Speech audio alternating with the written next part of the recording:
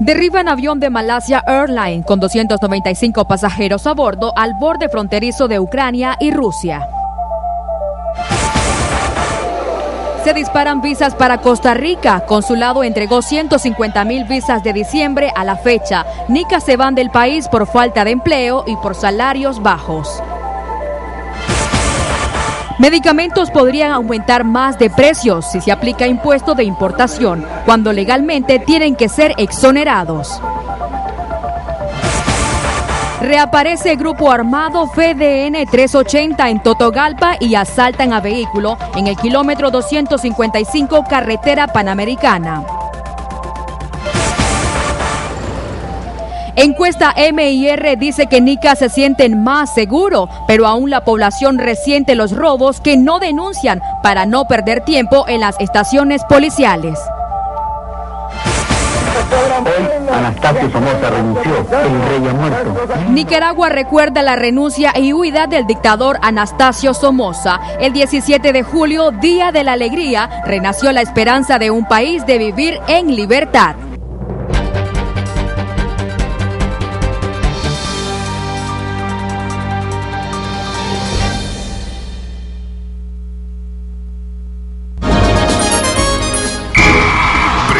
Sí te premia. 70 ganadores de televisores LED y teatro en casa. Vive la pasión del mundial.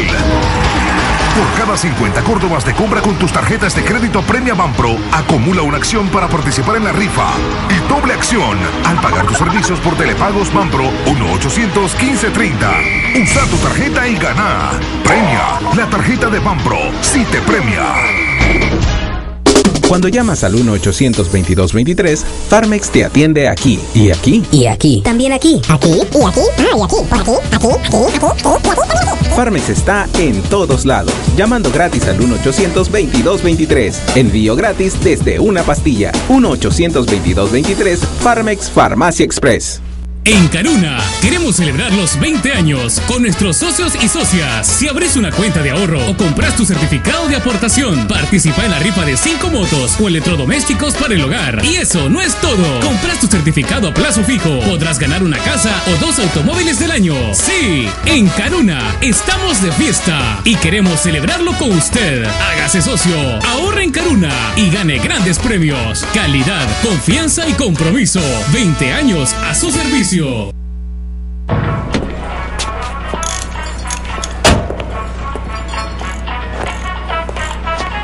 Encantado. ¿Qué te puedo servir? Vengo a hacer el servicio al auto. ¿Y qué tipo de aceite quiere que le ponga? Cualquiera, todos son iguales. ¡No!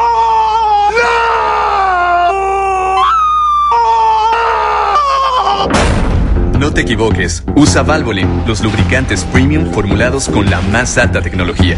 Valvoline, más de 100 años en el corazón de tu auto.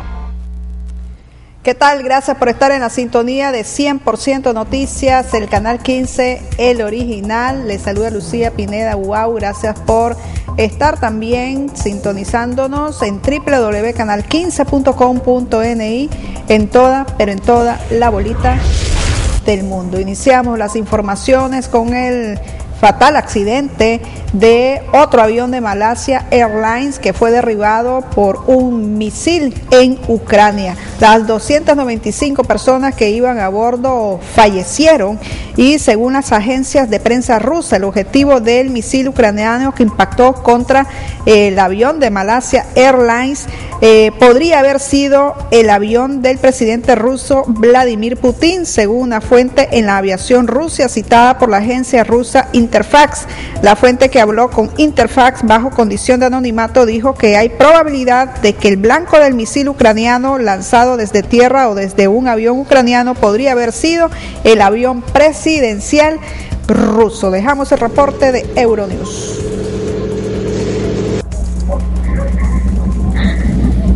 Son las noticias de última hora sobre la caída del avión de Malasia con 295 pasajeros en Ucrania que van decantándose a lo largo de la tarde.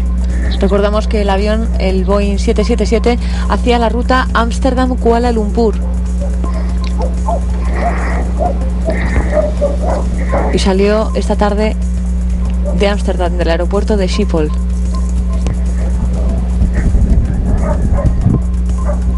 La última posición del radar registrada del vuelo MH17 de Ámsterdam fue sobre el espacio aéreo de Ucrania. El presidente ucraniano dice que acaba de hablar con el primer ministro de Holanda, al que le ha ofrecido sus condolencias. Y ha invitado a, a expertos holandeses y ha dicho que van a abrir una investigación sobre este acto de terrorismo.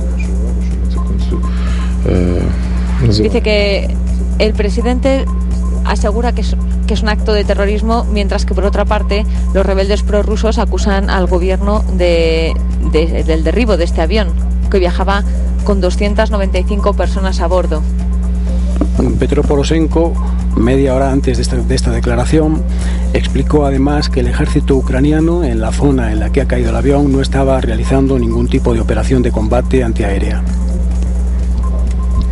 Los últimos datos indican que el número de muertos sería superior a los 300, entre los que se encontrarían al parecer 23 ciudadanos estadounidenses.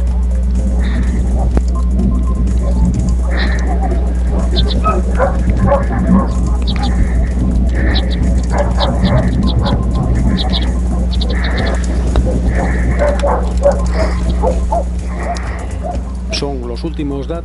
Bueno, el presidente de los Estados Unidos, Barack Obama, se pronunció sobre este eh, eh, derribamiento con un misil de un avión de Malasia Airlines y ofreció pues ayuda a el gobierno de Ucrania para las investigaciones. why.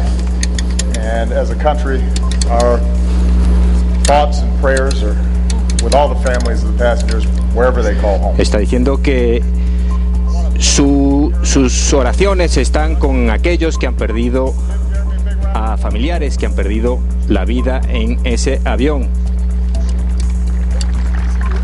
It is great to be in the state that gave us Joe Biden. Dice que es increíble estar en el estado de Joe Biden. Ahora está hablando de política interna. Evidentemente este discurso estaba ya preparado, está en Delaware y va a pronunciar pues unas palabras dirigidas a los eh, ciudadanos de Delaware. Sin embargo, pues ha tenido lugar este gravísimo, gravísimo incidente y las palabras que ha tenido Barack Obama han sido de condolencia hacia los familiares de las víctimas de este derribo de avión, que ahí están viendo a la derecha de sus imágenes esa inmensa, esa espesa columna de humo que se eleva, que se alza en el cielo de los campos cercanos a Donetsk y cercanos a la frontera de Rusia. Se dice que está a unos 50 kilómetros de la frontera de Rusia, donde cayó ese avión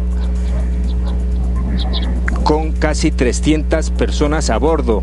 Recordemos que el Ministerio del Interior ucraniano ha afirmado que no hay supervivientes y recordamos también una vez más que tanto eh, el gobierno ucraniano como los rebeldes prorrusos se responsabilizan mutuamente del abatimiento de este avión.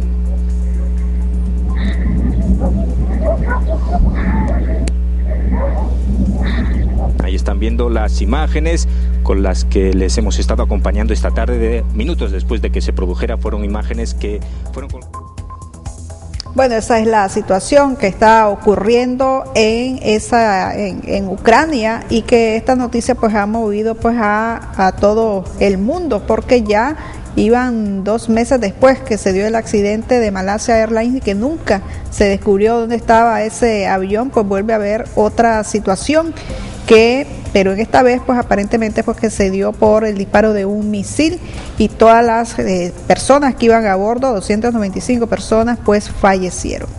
En otros temas se disparan las visas para Costa Rica. El consulado de Costa Rica luce siempre lleno, son largas, pero largas filas, se arman ahí alborotos eh, entre la misma población y el consulado está pensando seriamente ahora en implementar el sistema de citas, que con cita llegue la gente para evitar esta gran aglomeración.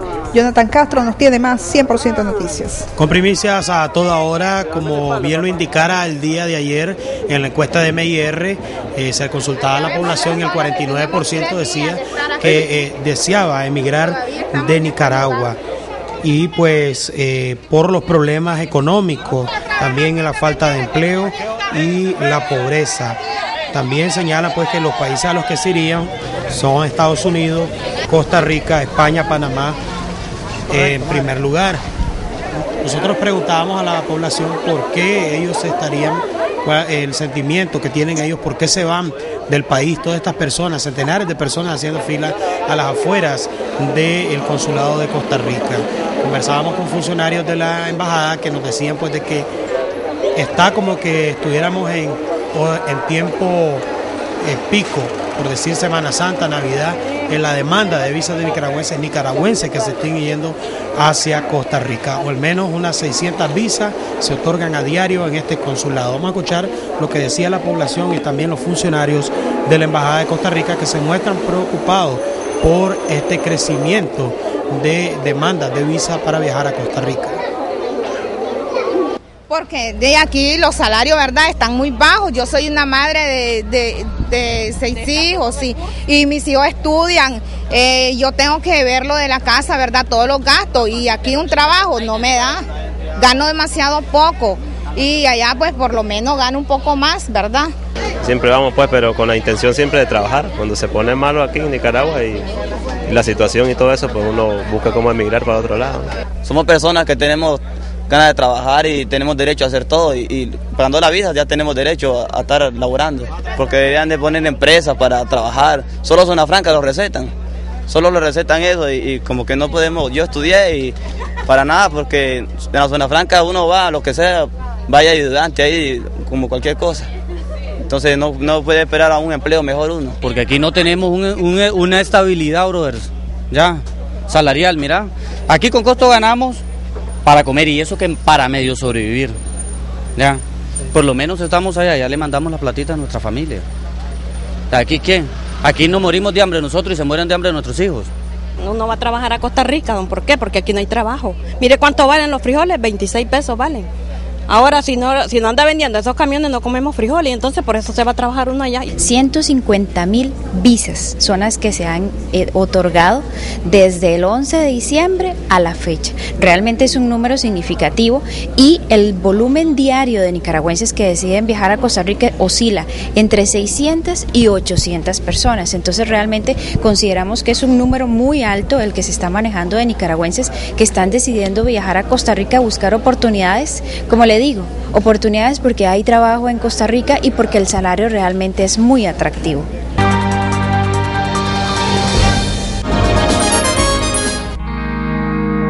Mira el calor del sol que se hace vino, que desde el racimo se derrama, y donde no hay vino, no hay amor, ni ningún otro dilecto dentro del corazón. Restaurante La Piaceta te lleva a un viaje inolvidable por viñedos y bodegas californianas. Participa al consumir 25 dólares o más en alimentos que incluya una copa de los vinos participantes y pagando con tus tarjetas Bacredomatic. Ven a La Piaceta para la oportunidad de ganar este viaje para ti y un acompañante.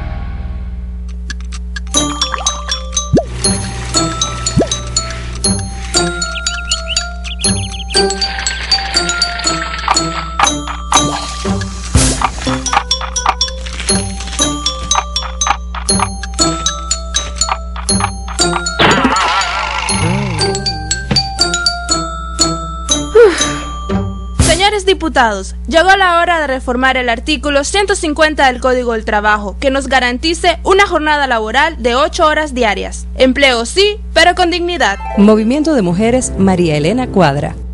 Acidez estomacal, toma Alcagel. Alivio rápido y prolongado de la acidez estomacal. Alcagel, buscando en farmacias, supermercados y pulperías del país. ¿Sabías que en la Bolsa de Valores de Nicaragua podés mejorar el rendimiento de tus ahorros. En la Bolsa de Valores puedes acceder a financiamiento barato para tu empresa. En la Bolsa de Valores puedes vender tus bonos al mejor precio. También tenemos la plataforma para invertir desde Nicaragua en otras bolsas del mundo. La Bolsa de Valores es un mercado de oportunidades donde todos podemos participar. Invierte en bolsa. Mejora tu rendimiento, mejora tu financiamiento. Gracias por continuar con nosotros. Hoy en Nicaragua se conmemora la caída del dictador Anastasio Somoza, que en un 17 de julio abandonó el país, pues al verse presionado por la insurrección del pueblo que dio, pues, por supuesto, el como nacimiento la revolución. El dictador pues Somoza huyó un 17 de julio de 1979 y hoy los nicaragüenses celebramos el Día de la Alegría. Veamos un extracto de el documental de eh, llamado La ofensiva final donde se relata pues eh, qué es lo que aconteció en ese momento cuando huyó Somoza.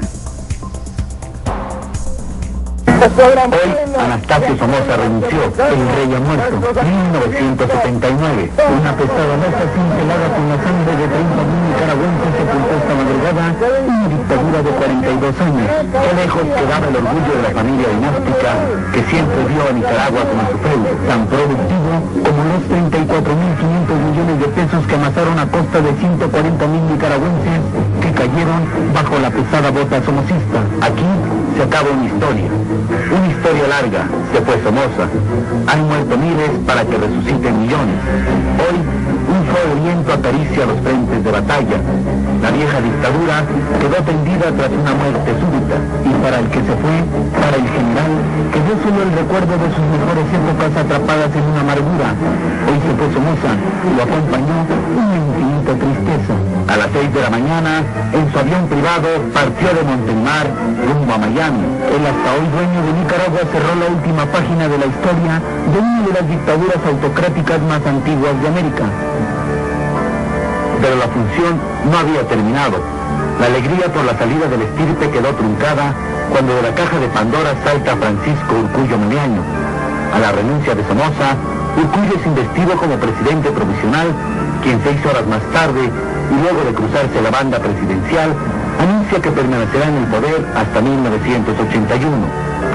Como presidente de la República, excito a las fuerzas irregulares a disponer las armas, no ante nada ni ante nadie, sino ante el altar de la patria. La sorpresa se torna primero en estupor, luego en enojo para reventar en violencia. El Frente Sandinista de Liberación Nacional se dispone a tomar Managua a sangre y fuego. Nosotros ya no podemos llamar a un cese de fuego en este momento después de que el señor Urcullo, como buen somocista, trató de burlarse de la voluntad del pueblo nicaragüense. Sin embargo, serán los latinoamericanos quienes propongan a la Junta que salga a Nicaragua en la madrugada del 18 de julio, ya que de lo contrario, en unas horas más serán exjunta. Se decide y su arribo se produce en horas de la madrugada en León, la segunda ciudad en importancia.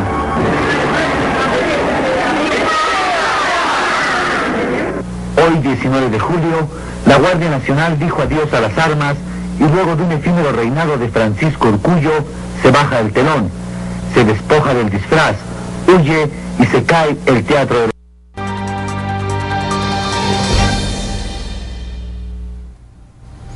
Bueno, así se escribió ese capítulo de la historia de Nicaragua hace 35 años.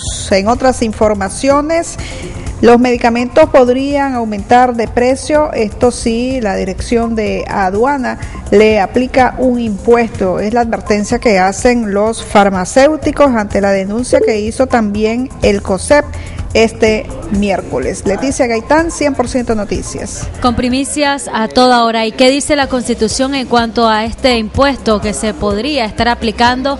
El artículo 114 de la Constitución Política de Nicaragua establece que las medicinas deben estar libres de todo impuesto, así como las vacunas e insumos. Para el diputado Alberto Lacayo, de quererse establecer este tipo de gravamen, debe de pasar por una reforma a la ley, pues la cual debería de ser aprobada en todo caso por los diputados de la Asamblea Nacional. Sin embargo, las asociaciones de farmacias unidas de Nicaragua, que aglomera al menos unas 800 farmacias a nivel nacional, pues estaría uniendo a Andifroda para eh, rechazar todo, todo este tipo de cosas como sería un impuesto a las medicinas en cuanto a una clasificación.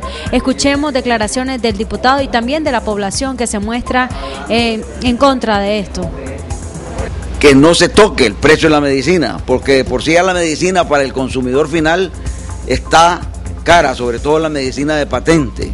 Y peor aún que en los centros de salud no hay ningún tipo de abastecimiento de medicinas para los sectores populares, ya que aparentemente apenas tienen acetaminofenes o paracetamoles para dispensarle a la gente. Y la gente va a morir a las farmacias privadas con las recetas de los centros de salud. Por ahí es que donde nos damos cuenta que en los centros de salud no hay nada que la medicina no se puede clasificar como de lujo, lujo medio, eh, sin lujo, porque todas son importantes para toda la gente, para los diferentes padecimientos. O sea que yo estaría totalmente en desacuerdo y desde ya rechazo cualquier tasa impositiva que se le quiera poner a la medicina. Vamos de mal en peor. Sí, porque los salarios a dónde quedan. Sí, ellos están estáticos. Y entonces, o sea, ¿de dónde viene eso? Pues mi pregunta, ¿dónde viene eso? ¿Qué está haciendo el gobierno para con el pueblo? Que se dice de que el pueblo, arriba los, los pobres del mundo, pero arriba de dónde? Ahora, la, aunque yo estoy asegurada, hay medicamentos que están fuera de lista básica. A mí me mandaron otra vez un oxigenante y lo tengo que comprar. Entonces no estaría de acuerdo que sí le aumentaran. En te ves en la necesidad, si vas a comprar una medicina, lo compras aunque no ahí sería que alguien esté y la, la misma población pues esté, esté, también pues al pendiente. Bueno, si la constitución dice que no, no, no tienen por qué. Están violentando la constitución de Nicaragua.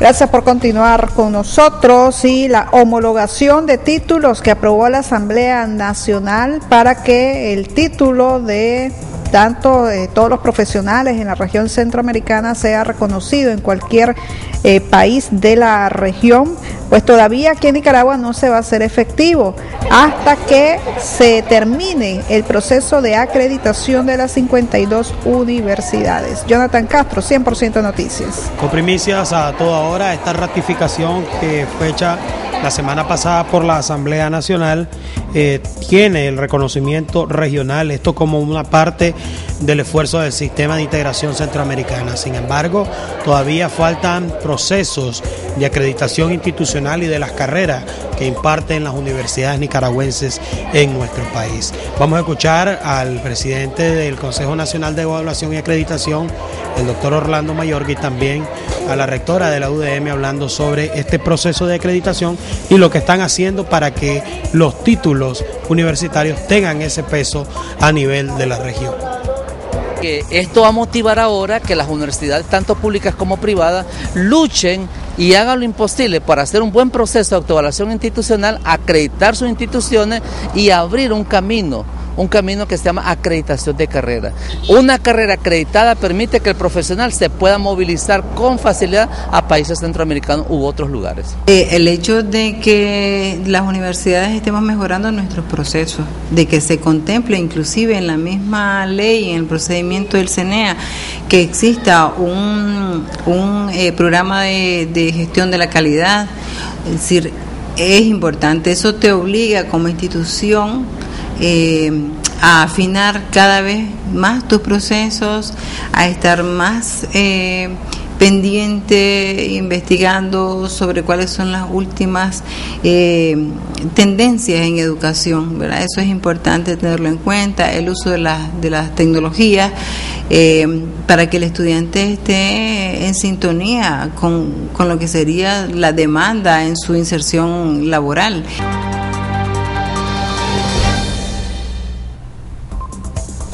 Bueno, y la reciente encuesta que publicó MIR dice que los nicaragüenses nos sentimos seguros aquí en nuestro país eh, con un 57.3%, pero aún la población está resintiendo la ola de robos que hay, eh, porque a muchas personas les han robado hasta un pinche celular, decimos en lenguaje nicaragüense, pero no van a interponer su denuncia ante las estaciones policiales para no perder el tiempo. Leticia Gaitán, 100% Noticias. Gracias esta señora. Con primicias a toda hora y hoy realizamos un sondeo con la población y pues prácticamente son opiniones divididas. Hay población que manifiesta que sí han visto mayor presencia de la Policía Nacional en las calles y en los barrios. Sin embargo, hay otros que mencionan que, por ejemplo, en sus barrios hay inseguridad porque todavía pues se conoce de expendios de droga, eh, hombres fumando marihuanas en las esquinas, incluso señalan pues este robos constantes muchas veces en las entradas a los barrios. Vamos a escuchar sí declaraciones de la población respecto a este tema de la seguridad en el país.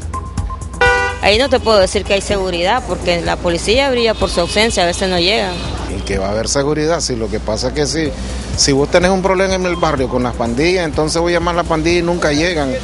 Hay que darles para el combustible, hay que lo que dicen ellos que no tienen combustible, que no pueden movilizarse. El año pasado yo sufrí un robo y este año andaba con mi teléfono normal y, y normal, se siente más tranquila la verdad. Y he visto más policía en las calles y todo eso. Sí, llega la policía. Antes había muchos muchos ladrones y piruca y todo eso, y ahora ya no. Haría la pesca y todo. Claro, la policía ha hecho un buen trabajo y creo que sí, estamos seguros. Pues estamos seguros, bien, pues porque allá amo todo bueno y nunca se lo ha perdido nada. El lunes o el martes de la semana que pasó me asaltaron en entrada. Como eso es metido, entonces y eso que se paga, fíjate, un vigilante por aparte, andan ahí, pero más sin embargo, mira, me asaltaron. Sí, un poquito más seguro, porque pasan a cada rato las patrullas. Y cuando los llama llegan. Pues.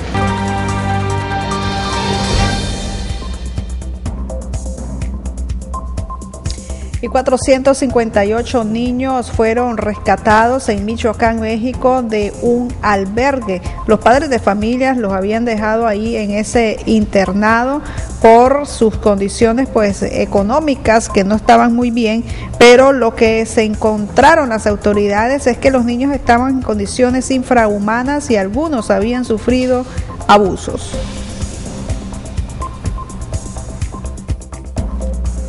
Decenas de padres acudían este miércoles a recuperar a los más de 400 menores hallados en condiciones infrahumanas en un internado de la región de Michoacán, en México. Las autoridades informaron que los niños eran retenidos y que se cometían abusos sexuales.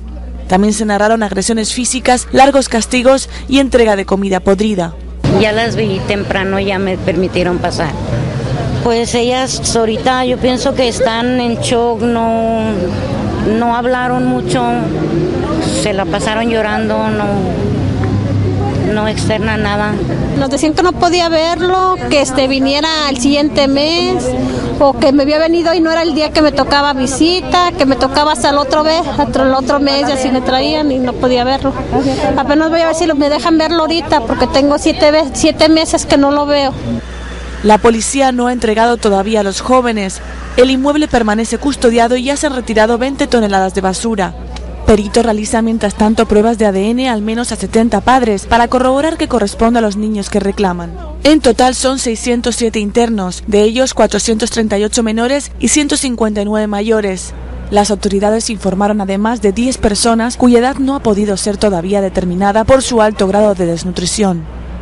La Fiscalía trata de confirmar ahora las denuncias recibidas sobre los maltratos que supuestamente se producían en el internado, aunque todavía no responsabilizó directamente de ellos ni a su fundadora Rosa del Carmen Verduzco o a sus ocho empleados.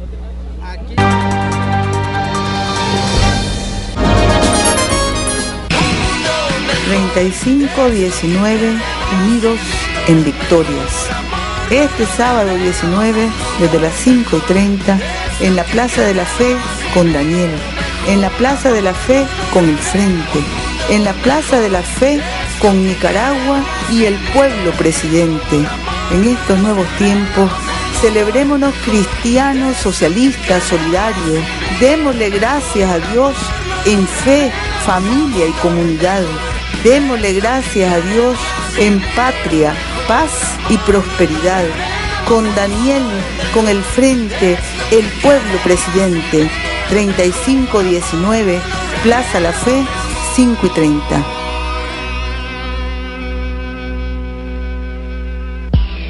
Conti abrirá sus sentidos a una nueva experiencia en decoración de vanguardia Tendencias, colores, formas y diseños son los componentes principales para brindarle siempre algo fuera de lo ordinario.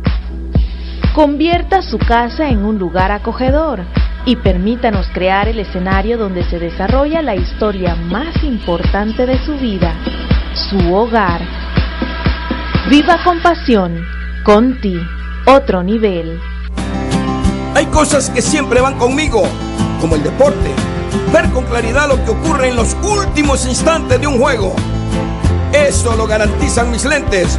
Por eso, Munkel va conmigo.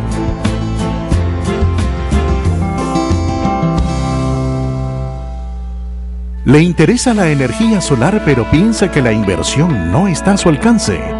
Hoy la oportunidad está en sus manos. Una fuente inagotable, eficiente, limpia y segura. Disfrute los beneficios de la energía del futuro en su hogar o negocio. Invierta una vez y ahorre para siempre. Con la energía solar de Tecnosol. Tecnosol. Energía en sus manos. Y trabajadores del Poder Judicial trabajaron a medio gas, pues eh, estuvieron también celebrando el Día de la Alegría. Llevaron pues a sus hijos y familiares para que estuvieran pues en una mañana de diversión en el complejo judicial.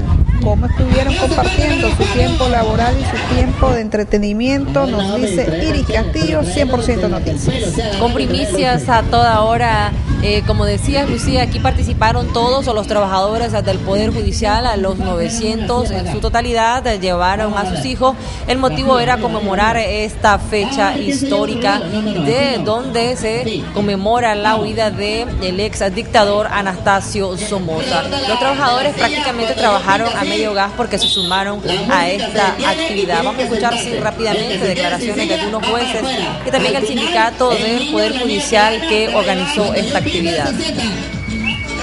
Vamos a celebrar aquí con todos los hijos de los trabajadores. A como hemos eh, planteado, ¿verdad? Es necesario que también nuestros hijos vengan a disfrutar un poco aquí de la fiesta con nosotros. A como podrá observar, tenemos eh, brinca brincas, tenemos payasos, pintacaritas, tenemos de todo un poco pues para celebrar este día tan importante en la historia de Nicaragua, pues el Día de la Alegría y estamos pues de cara al aniversario de nuestra revolución. Y mira, en todo, no solo hoy, todos estos días es de celebración porque estamos en víspera de cada cosa. Hoy es el Día de la Alegría, un día histórico para todos los nicaragüenses. Mañana es otro día también, cuando histórico, y después vísperas al 19, que es el día que se van a romper los juegos.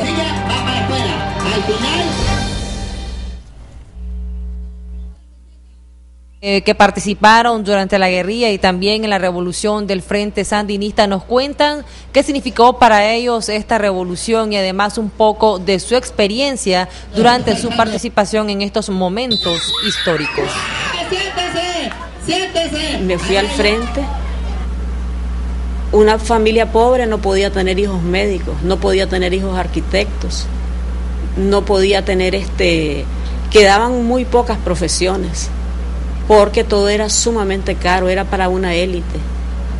Eh, el acceso a los hospitales, a la salud, igualmente, el acceso al medicamento, igualmente limitado, y forja una personalidad. Eh, yo fui respetada, cuidada, eh, guardo muy bellos recuerdos y vi, eh, le quiero comentar que hay una imagen que nunca se me va a olvidar. El día eh, 18 de julio estábamos en, en el lado de Chinandega y llegamos a una casa donde la guardia, porque aquí actuaron guardias de la Confederación, este, el Condeca que se llamaba, y habían guardias mercenarios israelíes, y habían entrado a una casa y los habían matado a todos, y había una madre a la cual, este, como que usted agarra una naranja, le habían cortado su panza y lograba verse la mitad del niño y la dejaron así desnuda. Eso fue el día 18 de julio. algunas veces eh, uno no cuenta estas cosas porque le duelen. Entonces eso es el cambio que hizo la revolución, ese es el cambio que hizo el Frente Sandinista. Más, difícil en combate, bueno, un combate, en combate, me acuerdo el 3 de julio de 1986 comenzó desde las 8 de la mañana ese combate hasta las 5 de la tarde. Ese fue, dije yo, aquí, aquí quedamos, pues.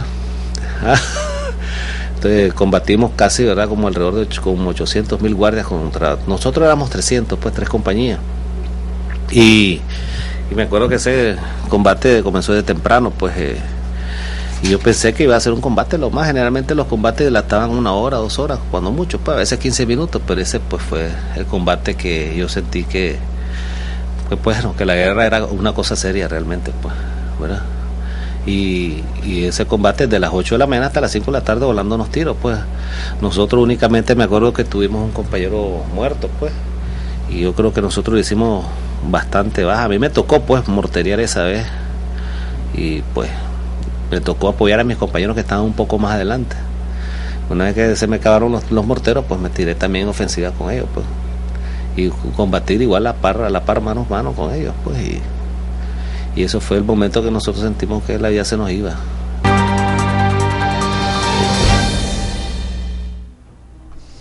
Sin duda alguna que cada nicaragüense pues tiene sus anécdotas, sus historias, sus recuerdos de esas eh, fechas que para los que estaban en, en, la plena juventud pues se involucraron pues en todo ese proceso de lucha contra una dictadura.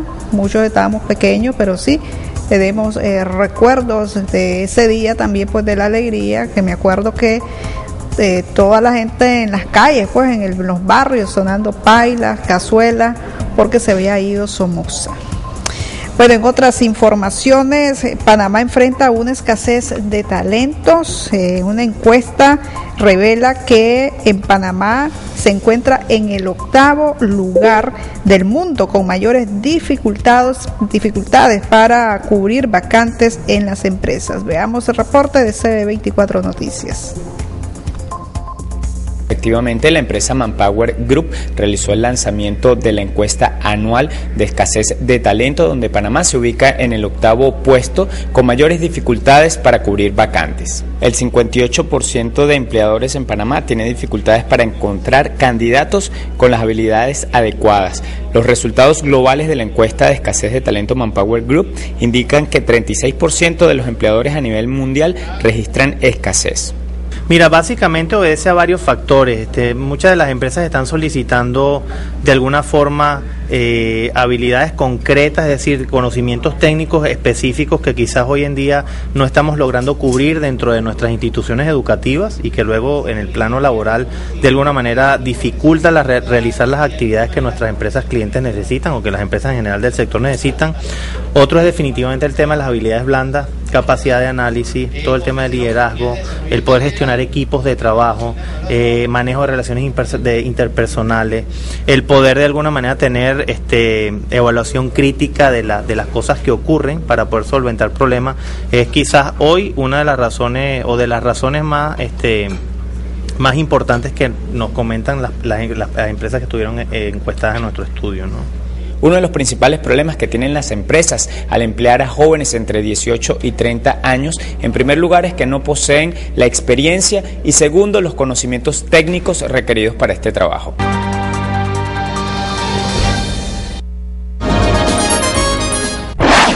En la WISPAN recibís formación profesional y humana con calidad y excelencia. Promovemos los valores éticos y morales. La WISPAN me proporciona las capacidades que demanda el mercado laboral. WISPAN, elevado nivel de inserción laboral. Éxito, calidad, excelencia. WISPAN, un título universitario te respalda. WISPAN, éxito, calidad, excelencia.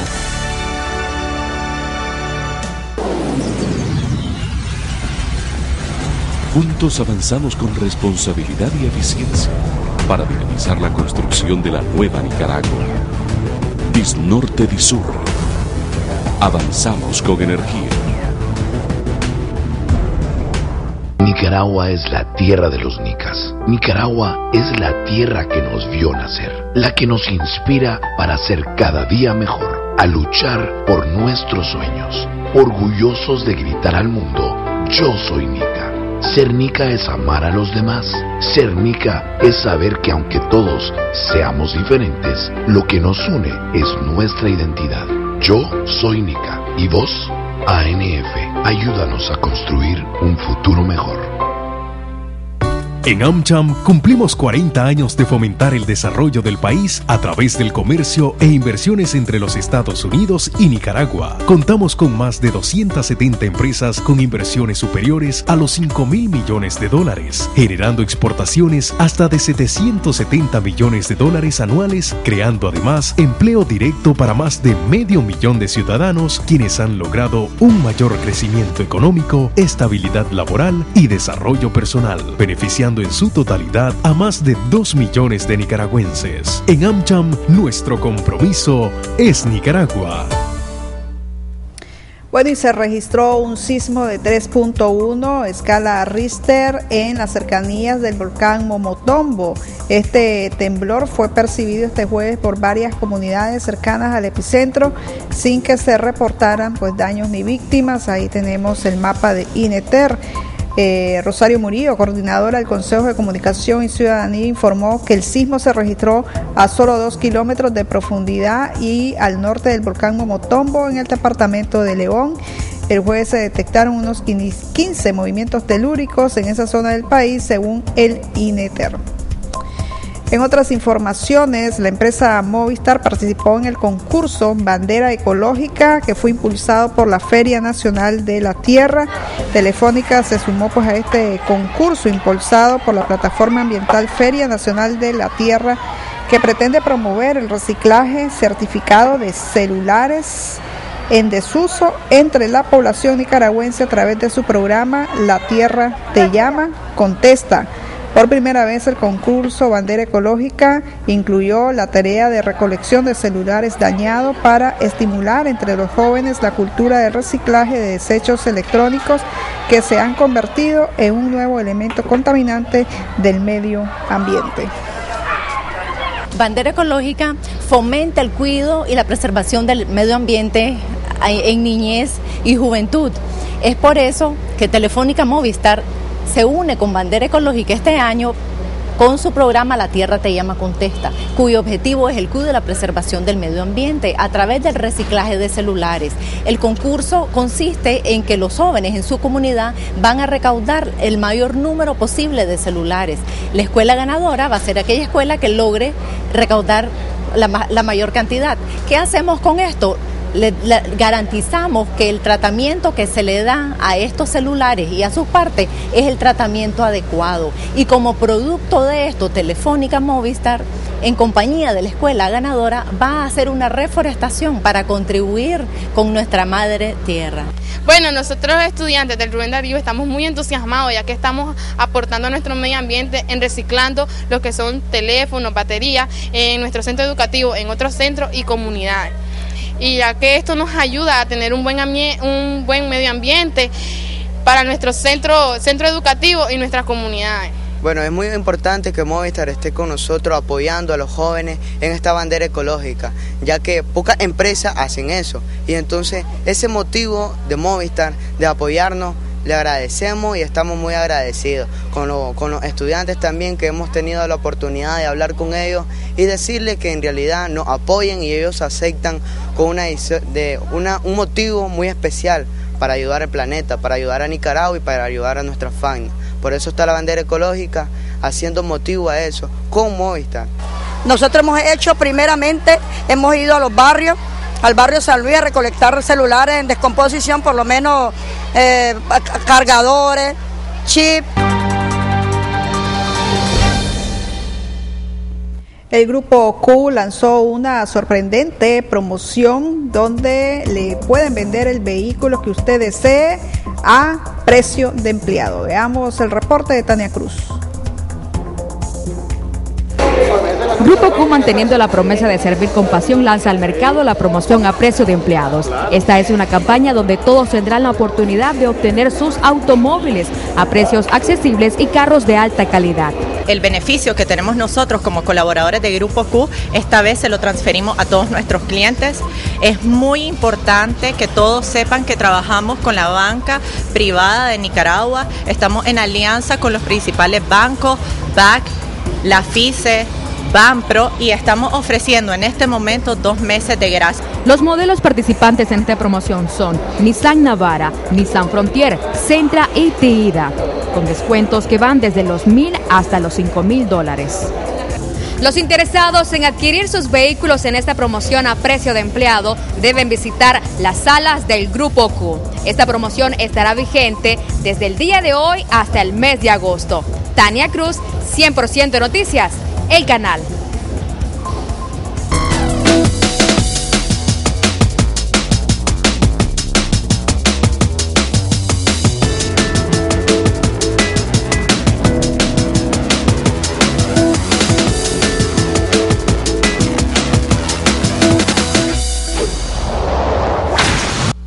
¿Qué tal amigos? Bienvenidos a Doble Play aquí en 100% Noticias. ¿Qué bien le ha ido a los niños nicaragüenses de la categoría infantil A que se mueven entre los 11 y los 12 años? Llevan cuatro victorias consecutivas ahí en Mazatlán, ganan cinco y pierden uno, ya están metidos en la pelea por las medallas y no solo eso, están también adentro de la eliminatoria del Campeonato Mundial que se va a realizar allá en Taiwán el año que viene, en el 2015. O sea, una vez más, el béisbol infantil saca la cara y muestra avances del deporte nicaragüense, el deporte que ha sido el principal históricamente aquí en Nicaragua y el que ha conseguido también mayores cotas de elevación en rendimiento, como lo demuestra la presencia de jugadores nicaragüenses en las grandes ligas. No mucho, pero por lo menos ese es un detalle que tiene su significado. Al mismo tiempo, Román Chocolatito González continúa su afiliamiento y dicen que muy bien con un sparring mexicano con miras a ir a buscar el tercer título mundial. Este muchacho va a ser el dominador de todas las categorías pequeñas, ya va llegando a las 112 libras y eso lo, lo haría primer nicaragüense triple campeón de categorías pequeñas el máximo logro, pues Alexis Argüello, que ha sido tricampeón, pero en categorías medias de mucha notoriedad, no como las pequeñas que permanecen un poco ocultas.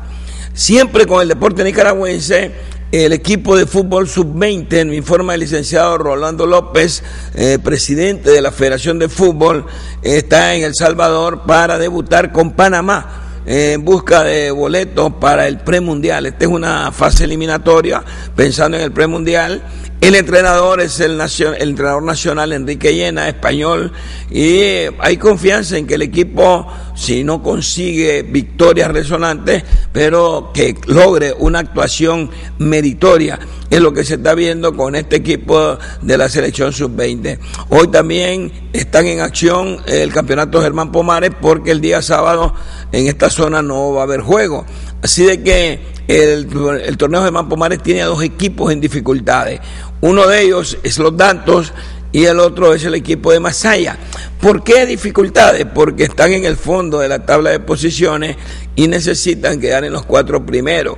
Así de que es necesario que los Dantos que van contra el Granada eh, y el equipo de Masaya que va contra la costa, pues tengan actuaciones revitalizantes este fin de semana para meterse en la pelea por los cuatro primeros lugares de esta etapa de ocho equipos en la cual pues están en juego los que van a protagonizar ya el grupo de fase final del Germán Pomares. Vamos a ir a un corte eh, comercial y ya regresamos aquí en Doble Play en 100% Noticias.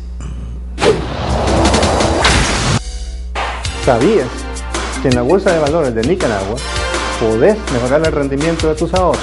En la Bolsa de Valores puedes acceder a financiamiento barato para tu empresa. En la Bolsa de Valores puedes vender tus bonos al mejor precio.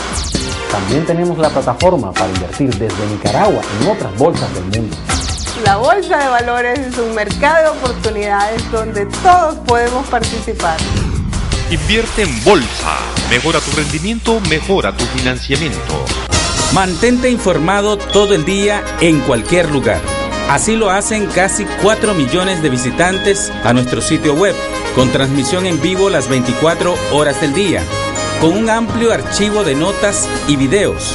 También puedes seguirnos en Facebook y Twitter y suscribirte a nuestro boletín electrónico Cuarto Poder para que cada día tengas en tu correo un resumen ejecutivo de las principales noticias del día. Suscribirse es fácil. En la página principal de canal15.com.ni ingresa tu correo electrónico. Inmediatamente recibirás una notificación, dale a aceptar y listo. Recuerde, somos 100% noticias, con primicias a toda hora.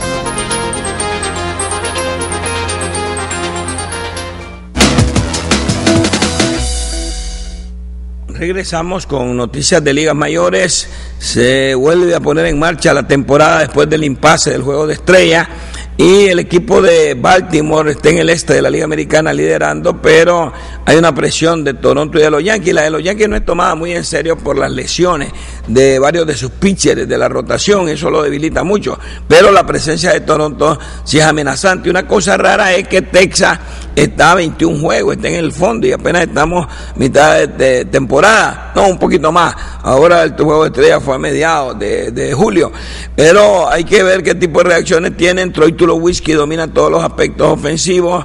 Eh, Clayton Kershaw se dirige hacia otra gran temporada, pinchando en la Liga Nacional. Eh, Félix Hernández es el eh, más visible en la Liga Americana porque Masahiro Tanaka tuvo que salir de rotación y se ve el peligro de que quizás no vuelva este año.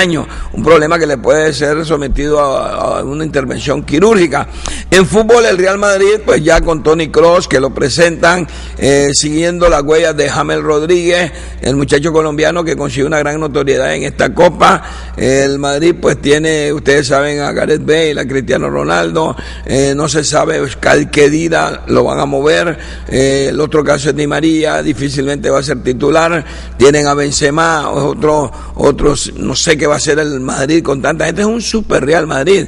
Además que tienen casi seguro al arquero Tico Keylor Nava. El Barcelona sigue buscando defensa, defensa central, defensa lateral consiguió a Rakitic, un centrocampista, consiguió a, Luis Suárez, un hombre de área, pues eso se van a sumar a gente como Neymar, como Messi, pero hay pérdidas importantes que ha tenido el equipo del Barcelona. No sabemos si van a sostener a Diego Alves, como la, perdón, a, Dani Alves como el lateral derecho, y también a, pues tienen a, Jordi Alba en el, en el lado del lateral izquierdo. del Barcelona hay que esperar varios cambios, el Madrid está súper armado, hay que ver la gente que va ir al fútbol inglés y el equipo de eh, Alemania apareció encabezando el ranking de la FIFA. El número dos, el equipo de Argentina, subcampeón de la última Copa del Mundo. Costa Rica dio un buen salto. México se mantuvo cercano a la posición de siempre. Y el equipo brasileño sí tuvo un gran descenso después de su comportamiento en esta Copa del Mundo. Regresamos con ustedes el día de mañana aquí en 100% Noticias.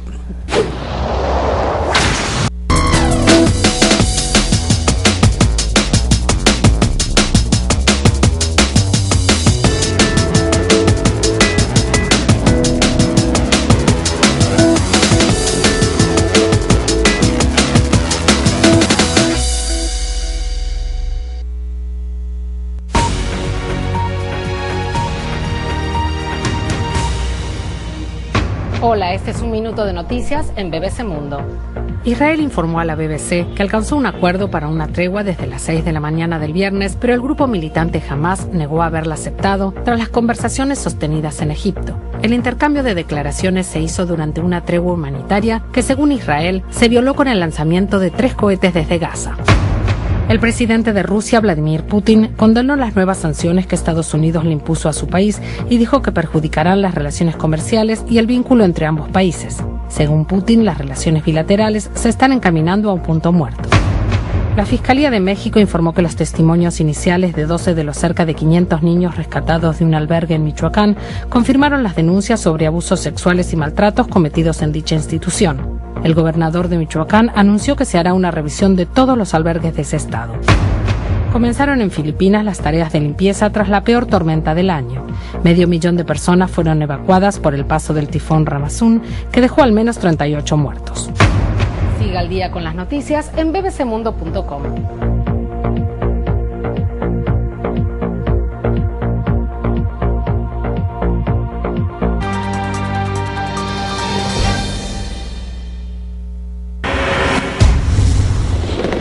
El ataque talibán contra el aeropuerto de Kabul llega a su fin con la muerte de los atacantes.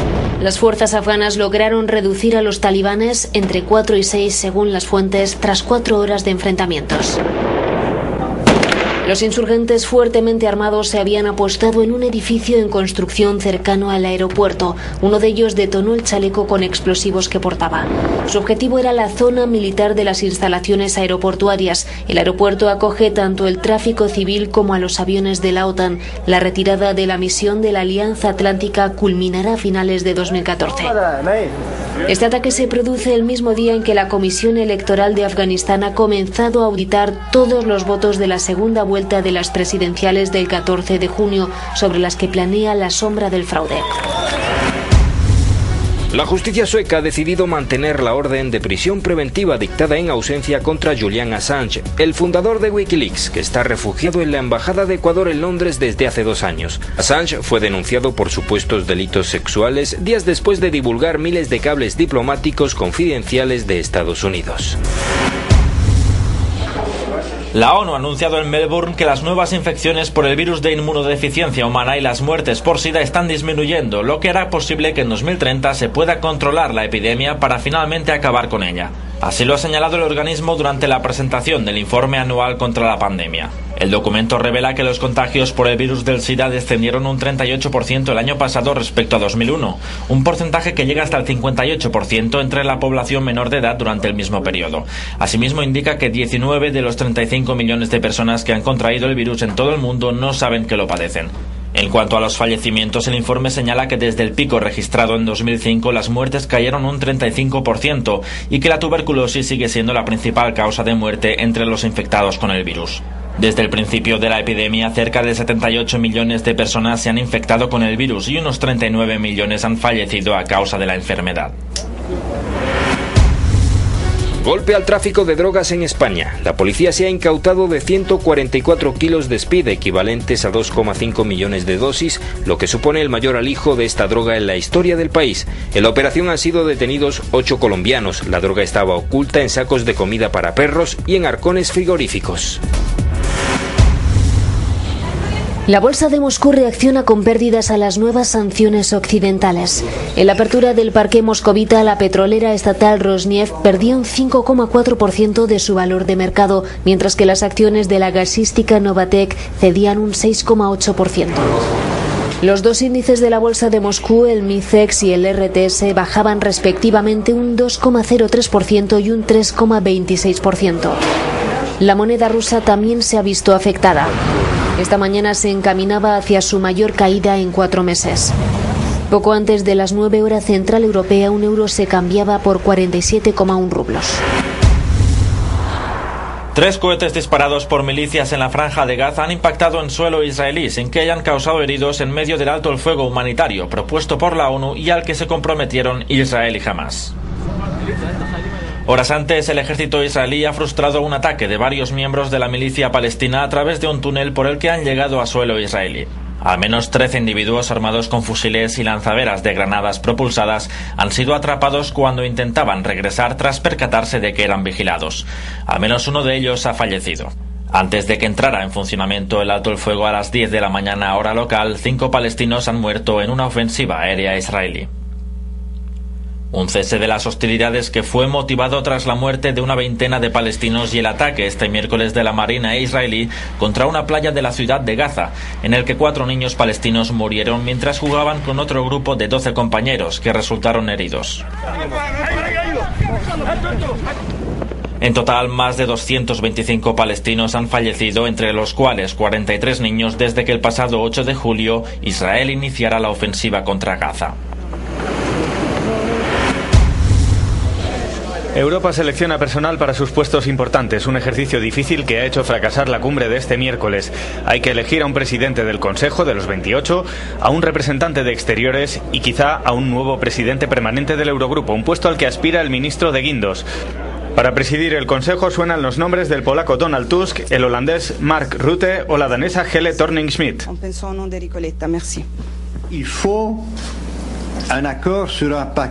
Hace falta un acuerdo sobre un paquete global, ha dicho el actual presidente del Consejo, Herman Van Rompuy. La alta representante, la presidencia del Consejo y otros elementos. El acuerdo tiene que ser global, si no, no habrá acuerdo en absoluto. Estoy seguro de que el 30 de agosto tomaremos una decisión.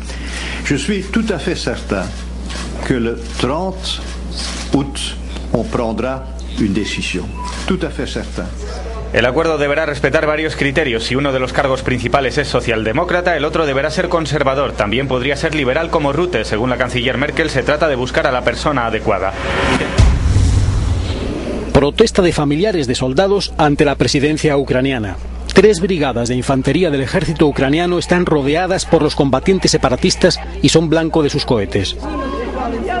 Son madres, padres y mujeres de los militares ucranianos que están atrapados cerca de Isvarine, en Lugansk. Piden ayuda ante la presidencia del gobierno en Kiev. Mi marido y su pelotón necesitan refuerzos. Están rodeados. Les atacan con artillería, con lanzacohetes múltiples desde el lado ruso. Y no hay nada que ocultar. Desde el otro lado, por los combatientes también. En el exterior del edificio presidencial, cada familiar tiene su historia. Una madre tenía grabado en el móvil el mensaje desesperado de su hijo. Están matando a nuestros soldados, nos dicen que estemos preparados para un bombardeo, nos faltan municiones, combustible, comida.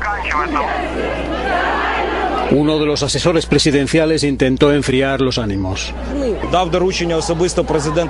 El presidente de Ucrania ha formado una comisión para resolver este problema. Ahora estamos en ello. Hay demasiados problemas sobre los turnos, sobre la ayuda militar que no puedo comentar ante las cámaras. Los familiares fueron finalmente recibidos en la sede de la presidencia ucraniana. Son varios cientos los soldados ucranianos que están rodeados bajo el fuego de los separatistas prorrusos. Un año y 40 millones de libras después, el Museo de la Guerra de Londres va a reabrir sus puertas. El sábado, los primeros visitantes podrán apreciar la profunda remodelación a la que ha sido sometido. El centro cuenta con un atrio y nuevas galerías dedicadas en exclusiva a la Primera Guerra Mundial, que comenzó hace 100 años. Estados Unidos aprieta a Rusia con nuevas sanciones. Obama se adelanta otro paso con respecto a Europa y sancionará a empresas del entorno de Putin como la energética Rosneft o el banco de Gazprom que gestiona las ventas de gas ruso. Estados Unidos quiere que Rusia colabore para parar el derramamiento de sangre en Ucrania. Según Washington, Rusia está volviendo a acumular tropas cerca de su frontera con Ucrania. Las sanciones han sido coordinadas con la Unión Europea.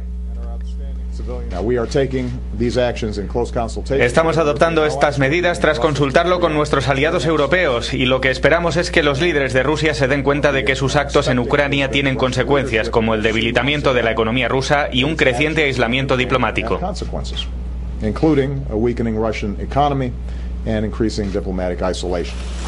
Horas después, sanciones más matizadas del lado europeo. El Banco Europeo de Inversiones y el de la Reconstrucción y el Desarrollo dejarán de financiar algunos proyectos en Rusia.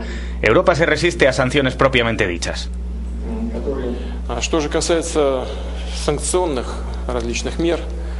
En cuanto a estas medidas, ha dicho Putin sobre las de Estados Unidos, como ya he dicho, tienen un efecto boomerang y no hay duda de que llevarán a un callejón sin salida las relaciones entre Rusia y Estados Unidos. Europa trabaja ahora en una lista de empresas rusas a las que sancionar directamente según el modelo americano. Está por ver si las empresas elegidas atacan verdaderamente al núcleo duro del Kremlin. La lista será pública a finales de mes. Tiroteo en el corazón de Atenas. La policía griega ha arrestado al terrorista Nikos Maciotis tras un intercambio de disparos en el que resultaron heridas cuatro personas, dos turistas, un policía y el propio detenido. Maciotis, que es miembro de la organización terrorista urbana Lucha Revolucionaria, fue condenado en ausencia a 50 años de cárcel. El tiroteo comenzó cuando una patrulla le reconoció en una céntrica plaza de la capital y procedió a su identificación. En ese momento el terrorista abrió fuego contra los agentes que respondieron con sus armas reglamentarias. Maciotis tiene un largo historial delictivo a sus espaldas. Al grupo Lucha Revolucionaria se atribuyen numerosos ataques contra edificios gubernamentales, bancos y la Embajada de Estados Unidos en Atenas. También se piensa que fue el autor del atentado con coche bomba que sacudió la capital el pasado mes de abril. Conmoción en México ante las sospechas de malos tratos y explotación sexual en Casa Familia, un conocido albergue para niños y familias pobres de la ciudad de Zamora. Cuando la policía registró la casa, descubrió que los 450 niños y 130 adultos internados allí vivían en condiciones infrahumanas. La fundadora y directora de la institución de 70 años es conocida en la ciudad como Mamá Rosa y ha sido detenida. Era muy popular desde que puso en marcha la institución hace cuatro décadas. Posteriormente ha tenido que ser hospitalizada. Los bebés que llegaban a nacer dentro de la casa hogar eran registrados como hijos de la fundadora. La policía cree que obligaba a los niños a prostituirse y que se hacía con su custodia legal sin la autorización de sus padres. México ha decidido revisar las condiciones de los orfanatos del país a raíz de este escándalo. El gobernador del estado de Michoacán, Salvador Jara, ha dicho que no iniciará ninguna caza de brujas y que la prioridad ahora es sacar a los niños de casa familia y encontrar un lugar digno para ellos. China acelera ligeramente su crecimiento tras nueve meses de ralentización. En el segundo trimestre del año, la segunda economía del mundo progresó un 7,5%, una décima más que en el trimestre anterior. Los analistas atribuyen este pequeño relanzamiento al mini plan de estímulo adoptado por el gobierno en abril y que supone mayores inversiones en infraestructuras, más exenciones fiscales a las empresas y una mayor flexibilidad para los bancos para facilitar la liquidez. No podemos ser triunfalistas, advirtió el portavoz de la Oficina de Estadísticas. La situación sigue muy complicada. Aún sentiremos durante tiempo el dolor por el ajuste de nuestra industria tradicional y seguiremos afrontando una ralentización económica. Los años 2012 y 2013 China creció únicamente un 7,7%. Fue su menor nivel en 14 años. Y para 2014 el Ejecutivo prevé un 7,5% que sería el avance más lento en un cuarto de siglo pero el portavoz de la Oficina de Estadísticas se refería a la transición de la economía del país de una industria basada sobre todo en las exportaciones a un mayor consumo interno que genera actividad sin depender necesariamente de la economía mundial. Los indicadores industriales y comerciales de los dos últimos meses parecen ir en esta dirección, aunque se teme por otro peligro como es la explosión de la burbuja inmobiliaria en una bajada generalizada de precios.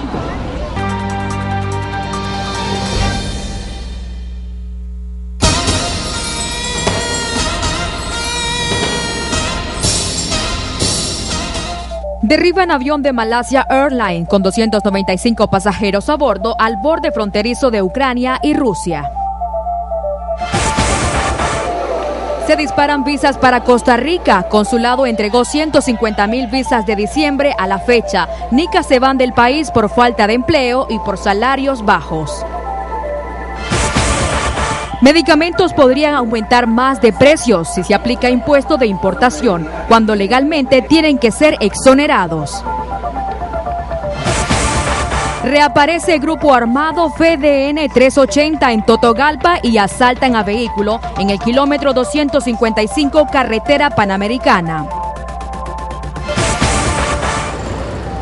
Encuesta MIR dice que Nica se sienten más seguro, pero aún la población resiente los robos que no denuncian para no perder tiempo en las estaciones policiales. Anastasio Somoza renunció, el rey ha muerto. Nicaragua recuerda la renuncia y huida del dictador Anastasio Somoza. El 17 de julio, Día de la Alegría, renació la esperanza de un país de vivir en libertad.